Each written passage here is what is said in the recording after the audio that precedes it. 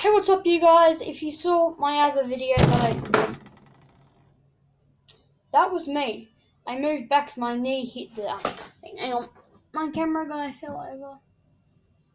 Um, if you saw my video that I just did of Hacksaw, you know what the title is about. And I said at the end I'll show you in another video. So what you need is like this piece of wood. So it's like, um, don't know what it's off, Like, guess when you carve a big piece of wood, you get this or something. I'm not sure. My dad is the brains. Um, so you get this piece of wood, as you can see, and then you snap it in half. If I can, it was hard for me to do it when I made mine.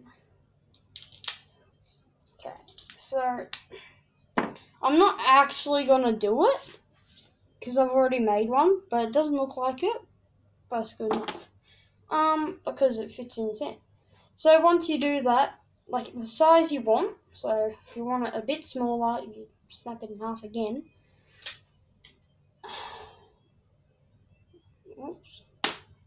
So if you want it like this size, that's what you get. And you just take off little pieces of wood.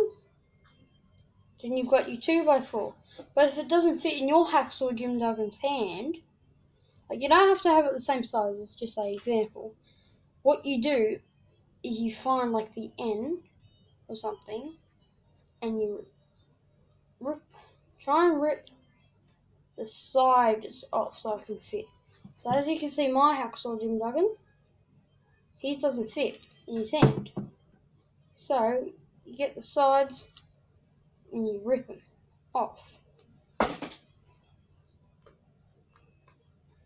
As you can see. I'm trying to do it, but it won't work. So if you rip, like, see that sort of layer? you're like, or you can bend it. I don't know, either way. You rip that off to the size you want. If it still doesn't fit, you go to the end and you rip a bit off like I did. Um, this looks, this looks sort of scary. Um, and if you put it in his hand and he and you and you pull his arm back and he just throws it, you get a bit of tape back here. Well, tape, and you just I'm not gonna do it on this one. I'll do it on my one, and you just wrap it around it.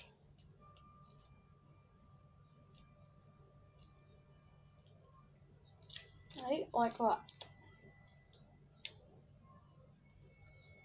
That it's okay if it doesn't look like that, it just needs to fit. And then once you're done, blah blah blah, you can put like three layers on it. If you want it extra tight to stay on, you put three layers of tape. If you want two, it's gonna stay tight but loose. If you put one on it, I think he'll still just like throw it. So now that I've put three layers on, it's tight, and I think if you put four on, it'll be even tighter. So they, so that's what you should get. Uh, throw all three pieces of my wood and uh, this. Um, yeah, so that's what you guys should get. If you want to know what tape recommend using, I probably recommend using this clear sort of tape. Not like duct tape. If you want to use duct tape, that would be fine. But I recommend using the clear tape. I it off my finger. I recommend using this sort of tape. So, um, I'm just saying if there's anything I need to fix because I've got a piece of tape.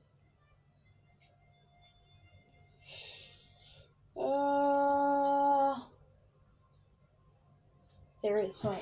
Sorry, I'm sorry about this.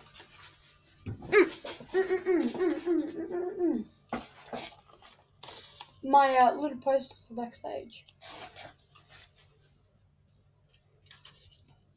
keeps coming off. There we go.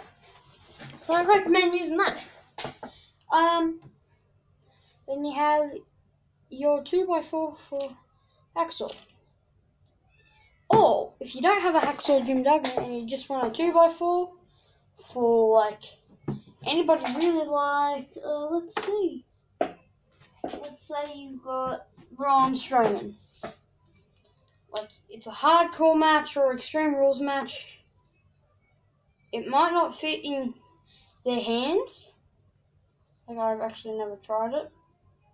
So, like it might just a tiny bit.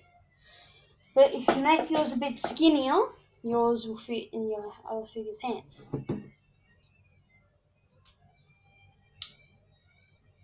So I made it too tight. Shoot. And that's how you make a 2x4 for your Hacksaw Jim Duggan figure, or for you just glue like other figures, like don't have any Hasbro's, you don't have Hacksaw, you've got your own 2x4 for wrestling. Excuse me, that's how I go. Um, like and subscribe, and I'll see you all in the next one. Bye, guys!